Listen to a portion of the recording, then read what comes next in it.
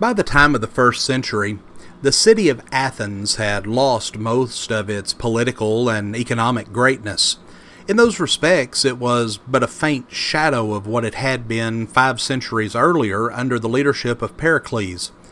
But Athens, Greece was still a very famous location when the Apostle Paul lived. The city was yet highly regarded for its culture, its art, and its learning. There is a city here in the United States that wears the nickname the Athens of the South, and some of you know that I speak of Nashville, Tennessee. Because of its many colleges and universities and churches, Nashville is called the Athens of the South. And one of the many points of interest for those who are touring Nashville is the Parthenon, which is located in Centennial Park. This building is an exact replica of an ancient building that stood in Athens, Greece. When you're in Nashville sometime, go by and visit the Parthenon. See the huge bronze doors, the irregular steps, the giant columns, and the many idols, all reminiscent of Greek mythology. The original Parthenon in Athens was a temple erected to the Greek goddess after whom the city had been named, Athena. The building was located on a hill called the Acropolis. Well, just a stone's throw away from the Acropolis in Athens was another hill, this one was named the Areopagus after the Greek god of war Ares. Translated, it's called Mars Hill after the Roman god of war Mars. Well, from day to day in the first century AD, the men of Athens would assemble on Mars Hill and would listen to orators and lecturers and philosophers. And it was on this famous location that the Apostle Paul enjoyed a very unique privilege one day. As we read in the book of Acts, chapter 17, beginning with the 16th verse, we find that Paul was in Athens waiting for the arrival of some of his fellow workers. The Bible says that his spirit was stirred within him when he saw the city was wholly given over to idolatry.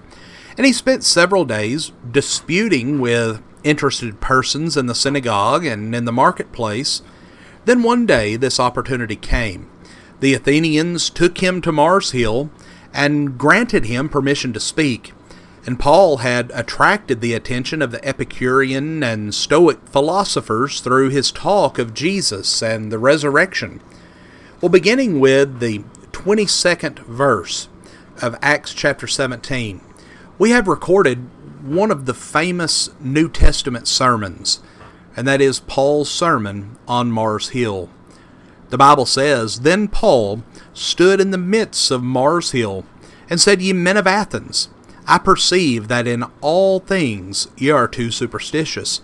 For as I passed by, and behold your devotions, I found an altar with this inscription to the unknown God.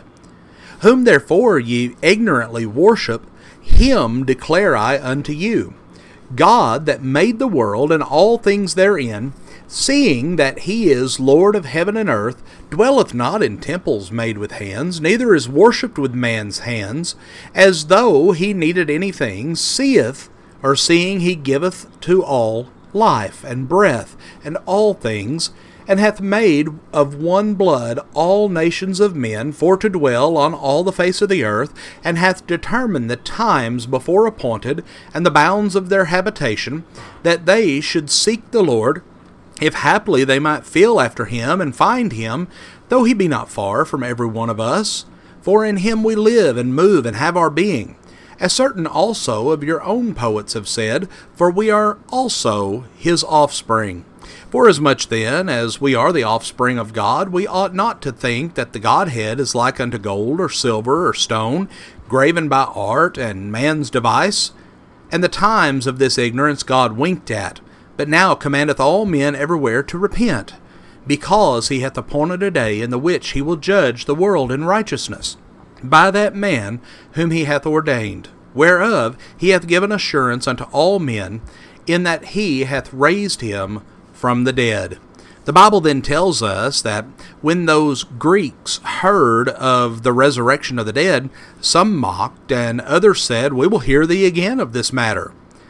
And there are still others who, according to the Bible, clave unto him and, and believed what he had to say. So it is with people today when they hear the truth. Some mock, some remain undecided and uncommitted, and some believe. Friends, we thank you for joining us for our program today, and we encourage you to join us each day this week as we study this great sermon from the Apostle Paul. May God bless you with a wonderful day.